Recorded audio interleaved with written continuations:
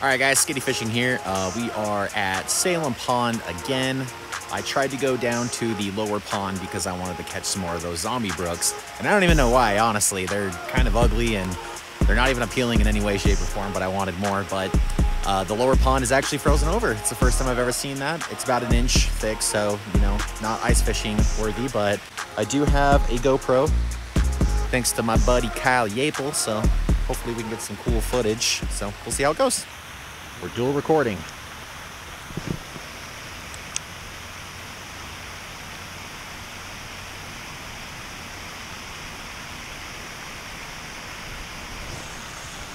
Got him. First cast.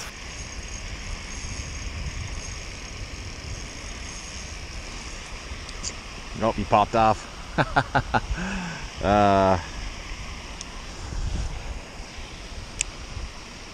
counts though.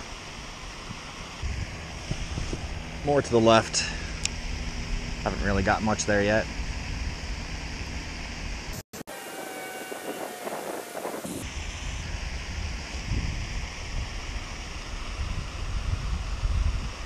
Oh, I'm getting a bite, getting a bite.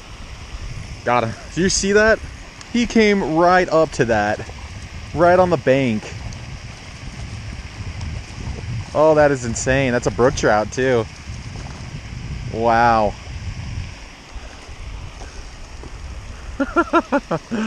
oh, man. Hilarious. Well, now I know that they're down here on the fountain side. Oh, man. All right. Yeah, I don't want to lose this one.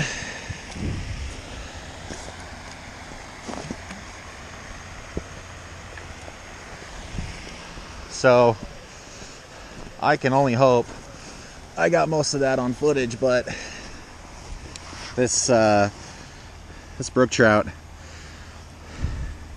zombie brooks, right there. So I mean, just look how beat he looks. I mean, no tail. This is actually one of the prettier ones that I've seen, if anything, but... Um, wow, that's crazy. I actually prefer the the fly fishing nets. Um, the ones that are kind of like like a rubberized net. Oh my goodness. There we go. Creek was really hard. An atomic teaser without the tease, so using a white tube jig this time, so looks like I can definitely get this one more out. So I'll show you kind of, I'm gonna jig it aggressively, pointing my rod at the water. Oh, see I'm already getting bumps. Oh, missed that.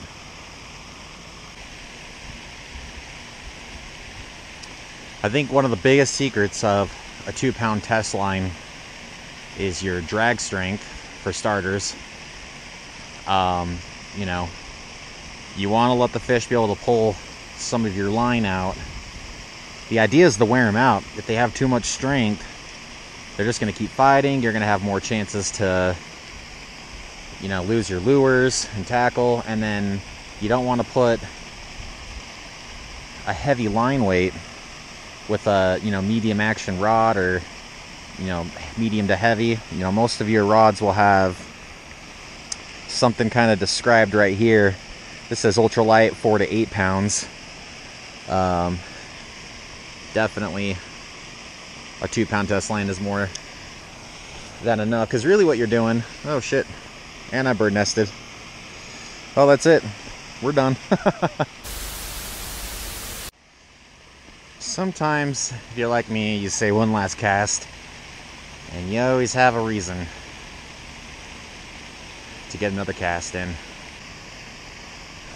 Got him. There we go. Finally. Been missing him. There's a nice big branch right in front of me, so. It's another rainbow trout.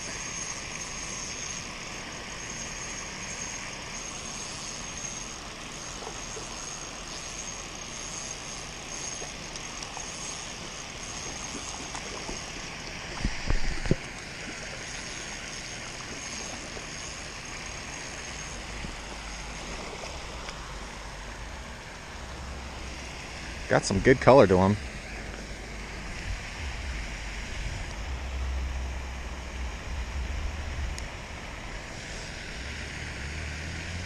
So, another pretty bow.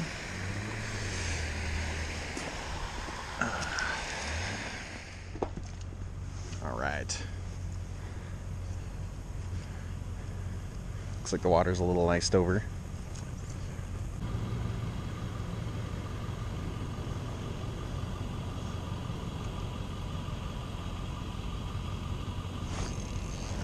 Got one.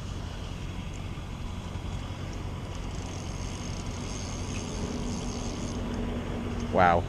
I was not even expecting that. Right there.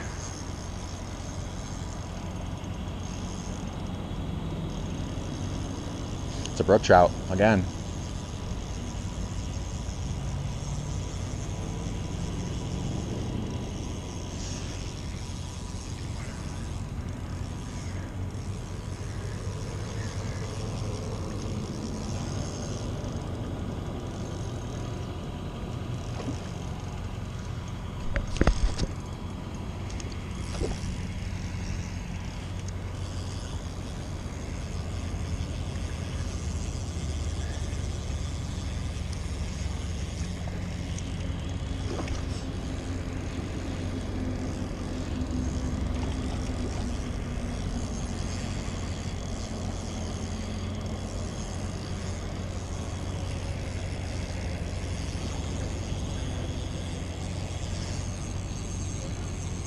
Uh, tube jig. Yeah, it's a, it's a brook trout. Pretty decent one too. You're here, my hands are wet. What was that? My hands are wet. I- It's just a really light line. That's the only thing I'm Careful. worried about. I have a net actually in the back of my car. You want to hold that real quick? Thanks, dude. Hope you don't feel like I took your spot. yeah, I can. I mean, I, I can leave. I might have some. I banked it for you. Oh, nice. Yeah, it's like a two pound test line, so Yeah, no, get him.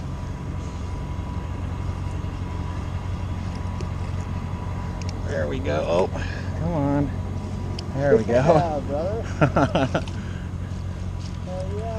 Uh, yeah, I just seen one down there. I just had on. oh, really? Cool. In the creek or? yeah, there's a couple nice ones in there. Nice. Yeah, I know they stocked some of the farmed brooks in here, but that's the biggest one I've seen.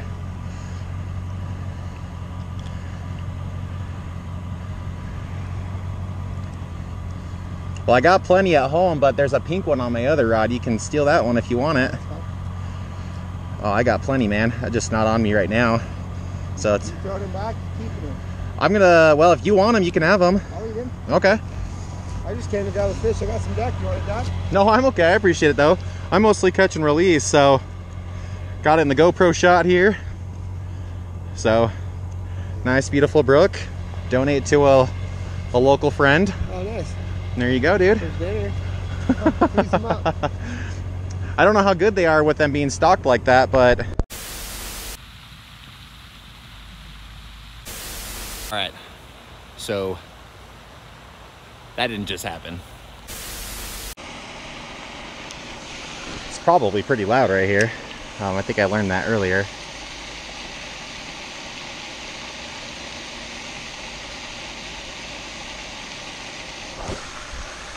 Got him.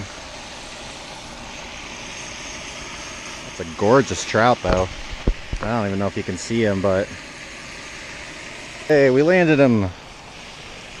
All right. Uh, it's a nice uh, brood stock. More of a mature trout. It's a good one to end on.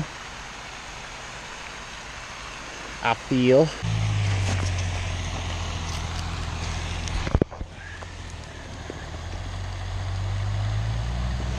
There he goes.